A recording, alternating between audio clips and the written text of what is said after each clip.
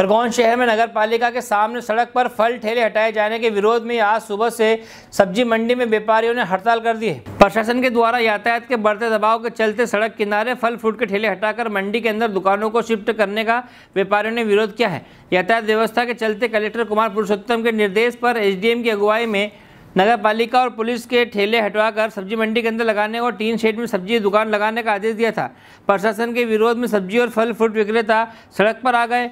इस दौरान मंडी में पहुँचे किसान और कुछ व्यापारियों की दुकान खुद व्यापारियों ने बंद कराई। खरगोन से जयंत गुप्ता की रिपोर्ट।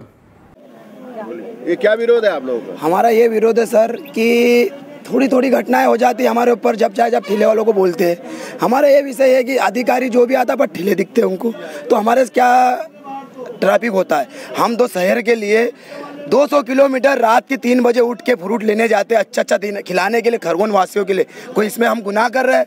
हमारा ये कहना है शासन को और प्रशासन को ये कहना है कि हम अभी जैसे लगे हैं, वैसे लगते रहेंगे। और हमारे से कोई दिक्कत आती है तो हम उसका सुधार भी करना चाहते हमने एच साहब को बोला बार बार कि, सर, हम जैसे पीछे पीछे कर और जो नगर पालिका की जो लाइन लगी है, उसके अंदर के दायरे में लगाना चाहते हैं, मगर हमारी सुनवाई नहीं कर रहा इस विषय में हमने, हमारे फ्रूट और सब्ज़ी व्यापारी ने सोचा है कि आप हड़ताल करेंगे। जब तक हमारी सुनवाई नहीं करेंगे, हम हड़ताल करते रहेंगे। और ये विषय कि जब सरकार एक दारू के ठेके के भी ले, बाहर दारू बेच रहे हैं, उनको परमानेंट ठेका दे दिया और पीने वाले रोड पे दारू पी रहे उनको कोई नहीं बोले और हम एक सच्चा माल बेच रहे अच्छा उसको विरोध कर रहे हैं हमारे के यहाँ से हटाओ।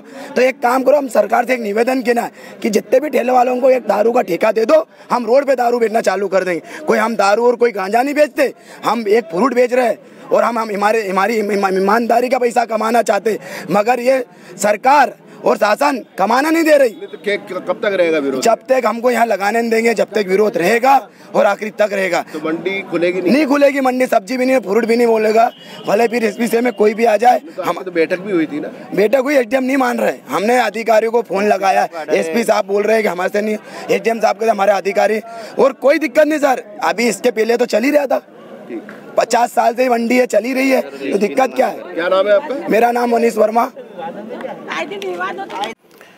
जैसे शहर में यातायात की सुरक्षा के दृष्टिकोण से वरिष्ठ अधिकारियों द्वारा भ्रमण किया गया था और शहर की यातायात सुचारू रूप से चले इसी हेतु ये ठेले ठेले वगैरह जो थे फल के और सब्जियों के इनको नियत स्थान जहाँ पर सब्ज़ी के लिए है और फल के लिए वहाँ करने के लिए इनको निर्देश दिए थे।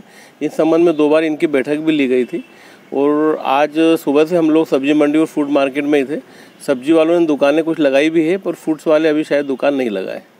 सब्ज़ी वाले भी नहीं लगा रहे थे। विरोध कर रहे बोले अनिश्चितकालीन हड़ताल करेंगे।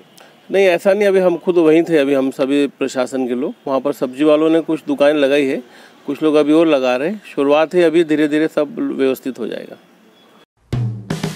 हेलो फ्रेंड्स आप देख रहे हैं हमारा channel S W twenty four news हमारे सारे वीडियो सबसे पहले देखने के लिए आप हमारे चैनल को सब्सक्राइब करें और पास में लगे बेल आइकन को दबाना बिल्कुल भी ना भूलें।